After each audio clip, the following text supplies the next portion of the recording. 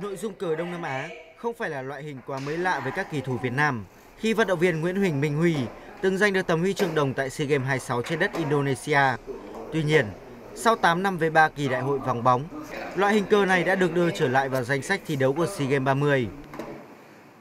So với cờ truyền thống thì cờ ASEAN Games còn gọi là cờ Đông Nam Á thì có sự à, khác biệt về à, cái vị trí quân. Đối với cờ truyền thống thì vị trí tốt của bên trắng là xếp ở hàng ngang số 2 và vị trí tốt của bên đen là hàng ngang số 7.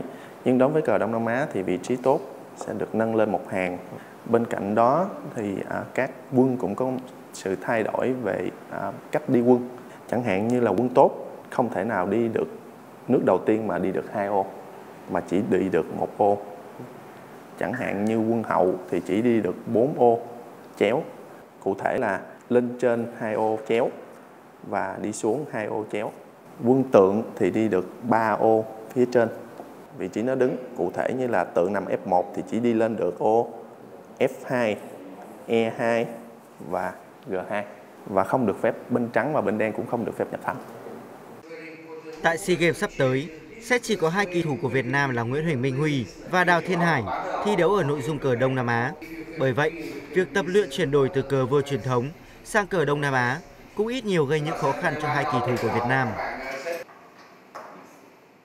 Vì cách đi quân của một số quân có sự thay đổi. Nên à, khi vào thi đấu cũng sẽ mình cũng sẽ bị bỡ ngỡ. Nhưng mà ừ, nếu mà có thời gian tập luyện vừa phải thì tôi nghĩ thì cũng sẽ thích nghi được với à, cái, cách đi quân mới như thế. Cờ Đông Nam Á đây là nội dung rất mới. À, chỉ có thi đấu ở khu vực à, Đông Nam Á. Và ban huấn luyện sẽ không đặt chỉ tiêu chính ở môn này. Dù không đặt chỉ tiêu, tuy nhiên bộ đôi kỳ thủ Nguyễn Huỳnh Minh Huy và Đào Thiên Hải vẫn đang tập luyện nhằm mục tiêu giành được huy chương tại SEA Games 30. Và với sự nỗ lực từng ngày của cả hai kỳ thủ, chúng ta hoàn toàn có thể hy vọng cờ vua Việt Nam sẽ lại một lần nữa chinh phục được nội dung cờ Đông Nam Á